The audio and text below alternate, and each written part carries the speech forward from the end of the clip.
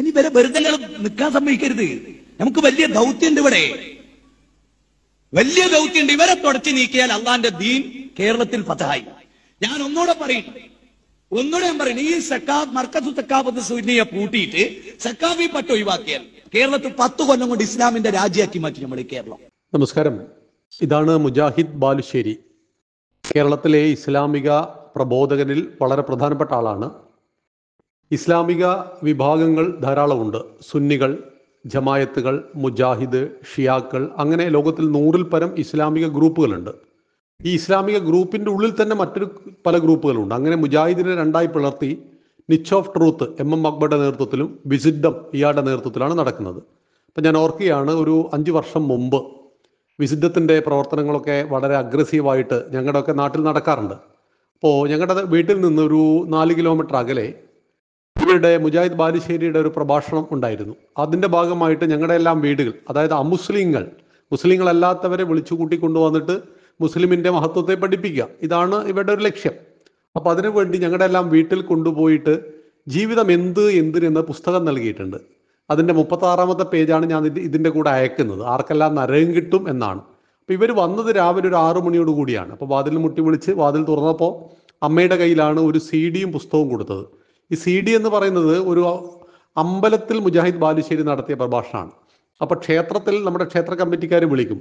നമ്മുടെ ഹിന്ദു ക്ഷേത്ര കമ്മിറ്റിക്കാരുണ്ട്. എന്താ പറയേണ്ടത്?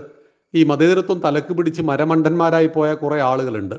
വിഗ്രഹാരാധകന് നിത്യനരകം കിട്ടുമെന്ന് പറയുന്ന ക്ഷേത്ര കമ്മിറ്റിയുടെ പ്രസിഡന്റാണ് ഈ മുജാഹിദ് ബാലുശ്ശേരി അമ്പലത്തിൽ കൊണ്ടുപോകുന്നത്. ഇപ്പോൾ കോഴിക്കോട് ജില്ലയിലെ നാദാപുരത്തിനടുത്ത് പാറക്കടവ് എന്ന് പറഞ്ഞൊരു സ്ഥലമുണ്ട്. ഈ പാറക്കടവിനടുത്ത് ഒരു മണികണ്ഠ ക്ഷേത്രമുണ്ട്. അവിടെ മുജാഹിദ് ബാലുശ്ശേരി വന്നിരുന്നു. അപ്പം ഞങ്ങളുടെ വീട്ടിൽ നിന്ന് ഒരു പത്ത് കിലോമീറ്റർ അകലേ ഉള്ളൂ. അപ്പം ഞങ്ങളെല്ലാവരും പറഞ്ഞു മുജാഹിദ് ബാലുശ്ശേരി ഒരിക്കലും ക്ഷേത്രത്തിൽ പ്രഭാഷണം നടത്തരുത്. കാരണം അയാൾ ക്ഷേത്രം എങ്ങനെ നശിപ്പിക്കണം എന്ന് ചിന്തിക്കുന്ന ആളാണ്. അതായത് അദ്ദേഹത്തിന്റെ വിശ്വാസപ്രകാരം ദൈവത്തിന് രൂപമുണ്ടാക്കുന്നവർക്ക് നരകമെന്നാണ്. അപ്പോൾ മണികണ്ഠ ക്ഷേത്രത്തിന്റെ കമ്മിറ്റി ഭാരവാഹികളോട് ഈ കാര്യം പറഞ്ഞപ്പോൾ അവർ പറഞ്ഞു മതേതരത്വമാണ് അമ്പലത്തിൽ. അമ്പലത്തിൽ മതേതരത്വം. അങ്ങനെ മുജാഹിദ് ബാലുശ്ശേരി വന്നു. ഹിന്ദു ഐക്യവേദി ചില അഭിപ്രായ വ്യത്യാസങ്ങളൊക്കെ പറഞ്ഞു എന്ന് മാത്രം അതായത് നമ്മൾ ബ്ലോക്ക് ചെയ്യാൻ അങ്ങനത്തെ കാര്യങ്ങളും ചെയ്യണ്ട. കാരണം സമൂഹത്തിൽ ഹിന്ദുക്കൾ തമ്മിൽ സ്പർദ്ധ സ്പർദ്ധയുണ്ടാവും. കാരണം ബോധമില്ലാത്തവന്മാർ അമ്പല കമ്മിറ്റിയുടെ പ്രസിഡന്റ് ആകുമ്പോൾ നമ്മളിത് സഹിച്ചല്ലേ മതിയാവുള്ളൂ. അപ്പോൾ അങ്ങനെ വന്നു അവിടെ പോയി പ്രഭാഷണം നടത്തി. അപ്പൊ ഇദ്ദേഹം കൊടുക്കുന്ന ഈ ബുക്കിൽ പറഞ്ഞിരിക്കുന്ന നരകം സ്വർണം ധരിക്കുന്ന പുരുഷന് നരകമാണ് ദൈവത്തിന് രൂപമുണ്ടാക്കുന്നവർക്ക് നരകമാണ് ഹറാമായ ഭക്ഷണം കഴിക്കുന്നവർക്ക് നരകമാണ് എന്ന് ആലോചിച്ച് നോക്കുക നമ്മൾ ഈ കമ്മ്യൂണിസ്റ്റുകളും കോൺഗ്രസ്സുകളും. ഇവർ ഈ മണികണ്ഠ ക്ഷേത്രത്തിന്റെ പ്രസിഡന്റ് സെക്രട്ടറിമാരൊക്കെ കോൺഗ്രസ്സുകാരും കമ്മ്യൂണിസ്റ്റുകാരാണ്. ബോധമില്ലാത്ത ഹിന്ദുക്കളാണെന്ന് മാത്രം. ഈ കോൺഗ്രസ്സുകാരും കമ്മ്യൂണിസ്റ്റുകാരൊക്കെ ജീവിതത്തിൽ ഒരിക്കലെങ്കിലും സ്വർണം ധരിച്ചവരും ഇപ്പോഴും കയ്യിൽ സ്വർണം ഉള്ളവരുമാണ് ഇപ്പൊ മുജാഹിദ് ബാലുശ്ശേരി പറയുന്നു എന്നെ വിളിച്ചാലും വിളിച്ചില്ലെങ്കിലും നിങ്ങൾക്ക് കിട്ടാൻ പോകുന്ന നരകാണ് കാരണം നിങ്ങൾ സ്വർണം ധരിച്ചിട്ടുണ്ട്. ക്ഷേത്ര കമ്മിറ്റിയുടെ പ്രസിഡന്റ് വിശ്വാസം ഉണ്ടായിക്കൊള്ളണം നിർബന്ധമില്ല. കാരണം കമ്മ്യൂണിസ്റ്റുകൾ ഹിന്ദുവിനെ നശിപ്പിക്കുവാൻ ഇന്ന് ക്ഷേത്ര കമ്മിറ്റി പിടിച്ചടക്കുന്നുണ്ട്. ആ ക്ഷേത്ര കമ്മിറ്റിയുടെ ഉപദേശക സമിതിയിലും വരുന്നുണ്ട് ദേവസ്വം ബോർഡിൽ അപ്പൊ ഇവരെ സംബന്ധിച്ച് വിശ്വാസികളല്ല. വിശ്വാസികൾ അല്ലെങ്കിൽ ഇവർക്ക് നരകം കിട്ടും. എന്തുകൊണ്ടാ? ഇവർ സ്വർണം ധരിക്കുന്നതിന് ഹറാമായി കരുതുന്നവരല്ലോ ഇവർ ഹിന്ദുക്കൾ അപ്പൊ ഇനി വിശ്വാസിയാണെങ്കിലോ ഇപ്പൊ മഹാത്മാഗാന്ധിക്ക് ഇസ്ലാം മത വിശ്വാസ പ്രകാരം നരകാണ് കിട്ടുക. എന്തേ? രാമരാജ്യം. നൂറ് ശതമാനം ദൈവവിശ്വാസിയായിരുന്നു മഹാത്മാഗാന്ധി. വിഗ്രഹാരാധകനുമായിരുന്നു. ഇനി പിണറായി വിജയൻ നമ്മുടെ കേരളത്തിന്റെ ബഹുമാനപ്പെട്ട മുഖ്യമന്ത്രി അദ്ദേഹത്തിന് ഇസ്ലാം മത വിശ്വാസ പ്രകാരം നരകാണ് കിട്ടുക. കാരണം അദ്ദേഹം കല്യാണം കഴിക്കുമ്പോൾ സ്വർണം ധരിച്ചിട്ടുണ്ട്. ഇനി എ കെ ആന്റണി അടക്കം മൊത്തം ക്രിസ്ത്യാനികൾക്ക് ഉമ്മൻചാണ്ടി അടക്കം മൊത്തം നരകാണ് കിട്ടുക. എന്തുകൊണ്ടാ? പന്നി മാംസം ഭക്ഷിച്ചിരിക്കുന്നു ഹറാമായ ഭക്ഷണം കഴിക്കുന്നവർക്ക്. പിന്നെ മദ്യപാനികൾക്ക് നരകം. ഇത് വായിച്ചാൽ മതി. മദ്യപാനികൾക്ക് നരകം. അപ്പോൾ മദ്യപാനിക്ക് നരകം എന്ന് പറയുമ്പോൾ അമ്പത് രൂപയുടെ മദ്യം എഴുന്നൂറ് രൂപയ്ക്ക് വിറ്റിട്ടാണ് കേരള സർക്കാർ മുന്നോട്ട് പോകുന്നത്. കേരള സർക്കാരിന്റെ ഏറ്റവും വരുമാന മാർഗമാണ് മദ്യവും ലോട്ടറിയും. അപ്പോൾ അങ്ങനെയാണെങ്കിൽ നമ്മുടെ കേരളത്തിൽ എത്ര ശതമാനം ആളുകൾ മദ്യപിക്കുന്നുണ്ടാവും? ചുമ്മാ നമ്മളൊരു നാൽപ്പത് ശതമാനം ആളുകൾ കരുതുക. ഈ മദ്യപാനികളുടെ കൂട്ടത്തിൽ ഏറ്റവും കൂടുതലുള്ളത് ഹിന്ദുവാണ് പിന്നെ ക്രിസ്ത്യാനിയാണ്. അപ്പോൾ ഇവർക്കെല്ലാം എന്ത് കിട്ടും? നരകം കിട്ടും. അപ്പോൾ ആലോചിച്ച് നോക്കൂ നമ്മുടെ സമൂഹത്തിൽ നമുക്കൊപ്പം ജീവിക്കുന്ന ഒരു മതം വിശ്വസിക്കുന്നു എന്റെ മതത്തിൽ പെടാത്ത എല്ലാവർക്കും നരകം കിട്ടും. ഇതിന്റെ പേരിലെ ഭീകരവാദം. ഇതാണ് ഭീകരവാദം. അല്ലാതെ മനുഷ്യന്റെ കഴുത്തറക്കലോ വെട്ടിക്കൊല്ലലോ ഒന്നുമല്ല. അതൊക്കെ പലതിന്റെ പേരിലും പലരും ചെയ്യുന്നുണ്ട്. ഇപ്പൊ കണ്ണൂരിലൊക്കെ എത്ര രാഷ്ട്രീയ കൊലപാതകങ്ങൾ നടക്കുന്നു? അതൊക്കെ മതത്തിന്റെ പേരിലാണോ? അല്ലല്ലോ. അപ്പോൾ ഈ കുടുംബ വഴക്കിൽ ആളുകളെ കൊല്ലുന്നില്ല. അപ്പോൾ കൊലപാതകമല്ല ഭീകരവാദം എന്ന് പറയുന്നത്. ഭീകരവാദം എന്ന് പറയുന്നത് ആ മതത്തിന്റെ അടിസ്ഥാന പ്രമാണത്തിൽ പറയുന്നത് എന്റേത് മാത്രമാണ് ശരി. പന്നിമാംസം ഭക്ഷിക്കുന്നവന് നരകം സ്വർണം ധരിക്കുന്ന പുരുഷന് നരകം ഗുരുവായൂരപ്പ എന്ന് വിളിച്ചു പോയാൽ നരകം. ഇദ്ദേഹത്തിന്റെ മറ്റൊരു പ്രസംഗം നമ്മൾ നിങ്ങളുടെ എല്ലാ കയ്യിലുണ്ടാവും. അതായത് ഒരിക്കലും വ്യഭിചരിച്ചിട്ടില്ല ഒരിക്കലും കളവ് പറഞ്ഞിട്ടില്ല എന്നാൽ ഗുരുവായൂരപ്പ എന്ന് വിളിച്ചു എങ്കിൽ നിങ്ങൾക്ക് നരകമേ കിട്ടുള്ളൂ. കാരണം ദൈവത്തിന് നിങ്ങൾ രൂപമുണ്ടാക്കിയിരിക്കുന്നു അപ്പൊ ഇയാൾ ഇപ്പോൾ പറയുന്നത് കാന്തപുരത്തിനെതിരാണ്. കാന്തപുരത്തിനെ പൂട്ടിക്കെട്ടിയിട്ട് കേരളത്തെ ഇസ്ലാമിക രാജ്യമാക്കണം ആലോചിച്ച് നോക്കൂ.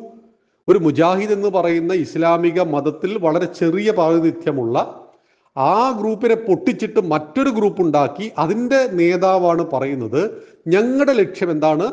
കേരളത്തെ ഇസ്ലാമിക രാജ്യമാക്കണം അപ്പം ഞങ്ങൾ എവിടെ പോവും? അമ്പത് ശതമാനം ഇപ്പോൾ ഹിന്ദു ഉണ്ടല്ലോ. ഇരുപത് ശതമാനത്തിലെ ക്രിസ്ത്യാനികളുണ്ടല്ലോ. അപ്പം നിങ്ങൾ ഇസ്ലാമിക രാജ്യമാക്കി കഴിഞ്ഞാൽ ശരിയത്ത് നിയമമായിരിക്കില്ല ഇവിടെ ഉണ്ടാവുക? അപ്പോൾ ആ ശരിയത്ത് നിയമപ്രകാരം ഞങ്ങളും ജീവിക്കണം എന്നാണോ പറയുന്നത്?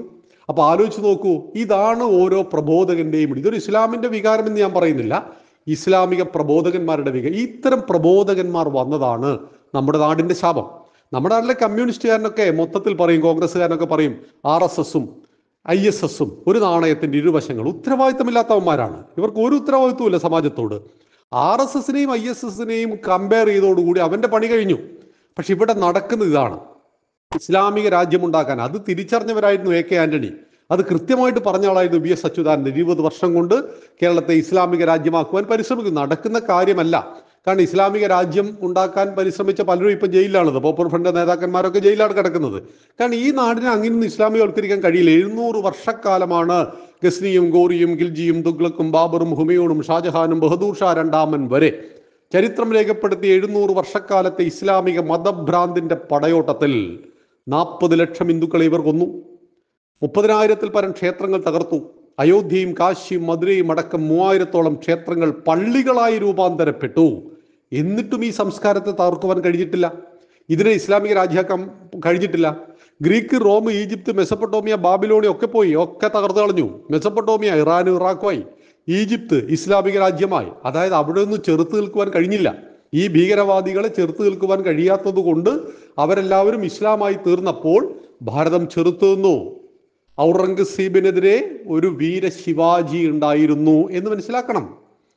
ഓരോരോ മതഭ്രാന്തന്മാർ വന്നപ്പോൾ അവരെ ചെറുത്തു തോൽപ്പിക്കുവാൻ പൃഥ്വിരാജ് ചൗഹാന്മാരും വീര ശിവാജിമാരും റാണാ പ്രതാപന്മാരും എല്ലാം ഈ മണ്ണിൽ അവതരിച്ചു. അവരുടെ പടയോട്ടത്തിനും അവരുടെ പൗരുഷത്തിനും മുന്നിൽ ഇവർ തോറ്റുപോവുകയാണ് ചെയ്തത്. അല്ലാതെ നമ്മുടെ നാട്ടിൽ സുനിൽ പി ഇളടന്മാരെ പോലെയുള്ള അതിരുത്തരവാദപരമായിട്ട് പറയുന്ന ആളുകൾ പറയാറുണ്ട് എഴുന്നൂറ് കൊല്ലം ഇസ്ലാമി നാട് ഭരിച്ചിട്ടും ഈ നാടിനെ ഇവന്മാർ ഇസ്ലാമിക രാജ്യമാക്കിയില്ലല്ലോ. അവന്റെ ഔദാര്യമല്ലിത് നമ്മൾ നിന്നു കൊടുക്കാഞ്ഞിട്ടാ. നമ്മൾ ചെറുത്ത് തോൽപ്പിച്ചത് കൊണ്ടാ. അല്ലെങ്കിൽ ഇസ്ലാമിക കാഴ്ചപ്പാട് പ്രകാരം വിഗ്രഹാരാധകനെ കണ്ണിൽ കണ്ടെടുത്ത് വെച്ച് കൊല്ലണം. ഹറാമായ ഭക്ഷണം കഴിക്കുന്നവനോട് സ്വർണം ധരിക്കുന്ന പുരുഷനൊക്കെ നരകം കിട്ടുമെന്ന് പ്രഖ്യാപിക്കുന്നു. സ്ത്രീക്ക് സ്വർണം ധരിക്കാം അത് ഇസ്ലാമിക സ്ത്രീക്കും ധരിക്കാം ഹിന്ദു സ്ത്രീകൾക്കൊക്കെ ധരിക്കാം. ഒരു പുരുഷൻ സ്വർണം ധരിച്ചാൽ എങ്ങനെയാണ് നരകത്തിലെത്തുക? ഇത് മനസ്സിലാവാത്തൊരു കാര്യമാണ്. അപ്പൊ ഇതെല്ലാം വളരെ വളരെ മാരകമാണ്. അപ്പൊ ഇങ്ങനെയുള്ള കാര്യങ്ങൾ നടത്തുന്ന ഇത്തരം പ്രഭാഷണങ്ങൾ നടത്തുന്നവർക്ക് ഇസ്ലാമിക സമൂഹത്തിൽ വലിയ പ്രാതിനിധ്യമാണ്. സിംസാറുൽ ഹഗ് ഹുദ്വി എന്ന് പറയുന്ന ആളാണ്. അപ്പൊ അയാൾ പറഞ്ഞു ക്ഷേത്ര കമ്മിറ്റിക്കാർ കച്ചവടക്കാരായ മുസ്ലിമിന്റെ അടുത്ത് പിരിവിന് വന്നാൽ എങ്ങനെ ചെയ്യണം? ഒരു കാരണവശാലും കൊടുക്കരുത്. എന്നിട്ട് ക്ഷേത്ര കമ്മിറ്റിയുടെ പ്രസിഡന്റ് അകത്തേക്ക് വിളിച്ചിട്ട് അമ്പത് രൂപ അവന്റെ പോക്കറ്റിൽ ഇട്ട് കൊടുക്കുക. എന്നിട്ട് പറയാ നീ ചായ കുടിച്ചോ എന്ന്. ഞങ്ങൾ തെണ്ടികളല്ല എന്ന് മനസ്സിലാക്കണം. ഞങ്ങളുടെ ക്ഷേത്ര കമ്മിറ്റിക്കാര് ക്ഷേത്ര കമ്മിറ്റി പ്രസിഡന്റുമാരൊക്കെ സമൂഹത്തിൽ ഉന്നതന്മാരായിട്ടുള്ള ആളുകളാണ് അവർ നിങ്ങളുടെ കച്ചവട സ്ഥാപനത്തിൽ വരുമ്പോൾ നിങ്ങൾ അവിടെ ബോർഡ് വെക്കണം. ഇവിടെ മുസ്ലിങ്ങൾക്ക് വേണ്ടി മാത്രമാണ് കച്ചവടം. ഇവിടെ ഹിന്ദുക്കൾ ആരും കയറിയിട്ട് കച്ചവടം നടത്തേണ്ടതില്ല എന്ന്. സമൂഹത്തിൽ ആണ് നിങ്ങൾ കച്ചവടം നടത്തുന്നതെങ്കിൽ സമൂഹത്തിന്റെ ആവശ്യങ്ങൾക്ക് അനുകൂലമായിട്ടുള്ള പ്രതികരണം ഉണ്ടാവണം. മുജാഹിദുകാരൻ കട നടത്തുന്നുവെങ്കിൽ അവിടെ ബോർഡ് വെക്കണം. മുജാഹിദുകാരൻ മാത്രമേ ഇവിടുന്ന് മേടിക്കണ്ടൂ. നിങ്ങൾ സുന്നികളെ ഇഷ്ടമല്ലല്ലോ. ഇപ്പൊ സുന്നികളും ആരും ഇവിടുന്ന് കച്ചവടം മേടിക്കണ്ട. ഇപ്പോൾ സാധനം മേടിക്കണ്ട എന്ന് ബോർഡ് വെക്കണം നിങ്ങൾ. എന്നിട്ട് കച്ചവടം നടത്തൂ അങ്ങനെയെങ്കിൽ ക്ഷേത്ര കമ്മിറ്റിക്കാരൻ വരില്ല. ക്ഷേത്ര കമ്മിറ്റിക്കാരന്റെ പണം കൊണ്ട് കുടുംബത്തെ മുന്നോട്ട് കൊണ്ടുപോവുക കച്ചവട സ്ഥാപനങ്ങൾ നടത്തുക ലാഭം ഉണ്ടാക്കുക. നാളെ ക്ഷേത്ര കമ്മിറ്റിക്കാരൻ ഒരു ആഘോഷം നടത്തുമ്പോൾ ഒരു നൂറ് രൂപ പെരുവിന് വന്നു കഴിഞ്ഞാൽ ക്ഷേത്ര കമ്മിറ്റിക്കാരന്റെ പ്രസിഡന്റ് കീഴിൽ അമ്പത് രൂപ ഇട്ട് കൊടുത്തിട്ട് നീ വീട്ടിൽ കൊണ്ടുപോയി ചായ കുടിച്ചോ എന്ന് പറയുന്ന തരന്താണ് ഏർപ്പാടൊന്നും ഞങ്ങൾ ഹിന്ദുക്കളെ കിട്ടില്ല. അപ്പൊ ഇവിടെയാണ് ഒരു സമൂഹത്തിൽ ജീവിക്കുമ്പോൾ നമുക്ക് ഇഷ്ടമില്ലാത്ത കാര്യങ്ങളും ഇഷ്ടമുള്ള കാര്യങ്ങളും ഉണ്ടാവാം. പക്ഷെ സമൂഹത്തിന് മൊത്തത്തിൽ ഒരു താല്പര്യമുണ്ട്. ഇപ്പൊ നമ്മുടെ ഒരു വ്യക്തിയുടെ ഇഷ്ടങ്ങൾ മാത്രം നടപ്പിലാക്കപ്പെടേണ്ട സ്ഥലമാണ് ഒരു കുടുംബം. അപ്പൊ കുടുംബത്തിൽ എനിക്ക് ഇഷ്ടമല്ലാത്ത ഒരു കാര്യം എന്റെ കുടുംബത്തിൽ ഒരു ഭക്ഷണമുണ്ട്. എനിക്കിഷ്ടമല്ല എന്നതുകൊണ്ട് ഞാൻ അത് കുടുംബത്തിൽ മൊത്തം നിഷേധിക്കാൻ പാടില്ല. അത് എന്റെ ഇഷ്ടാനിഷ്ടങ്ങളാണ് ഒരു വ്യക്തിപരമായിട്ടുള്ളതാണ്. ഇതുപോലെയാണ് സമാജത്തിൽ നമ്മൾ ജീവിക്കുമ്പോൾ.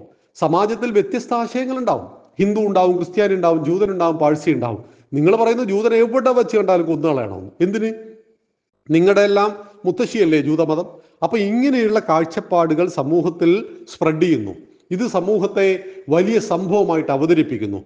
അതായത് കാന്തപുരം ഉസ്താദിനെ പൂട്ടിക്കെട്ടിയിട്ട് കേരളത്തെ ഇസ്ലാമിക രാജ്യമാക്കാം എന്ന് പറയുമ്പോൾ ഹിന്ദുക്കളെ പരിഗണിക്കുക പോലും ചെയ്യുന്നില്ല എന്നാണ് അർത്ഥം. അപ്പൊ ഇതെല്ലാം കൃത്യമായിട്ട് കേരളത്തിലെ ഹൈന്ദവ സമൂഹവും ക്രൈസ്തവ സമൂഹവും മനസ്സിലാക്കണം. ഇസ്ലാമിൽ സമാധാനം ആഗ്രഹിക്കുന്നവർ മനസ്സിലാക്കണം. ഇസ്ലാമിക രാജ്യം വന്നാൽ ഒരൊറ്റ രാത്രി സ്വൈരമായിട്ട് ഉറങ്ങുവാൻ ഒരൊറ്റ മുസൽമാനും കഴിയില്ല. അത് പാകിസ്ഥാനിലേക്കും അഫ്ഗാനിസ്ഥാനിലേക്കും നിങ്ങൾ നോക്കിയാൽ മാത്രം മതി എന്ന് സൂചിപ്പിക്കുന്നു. നന്ദി നമസ്കാരം.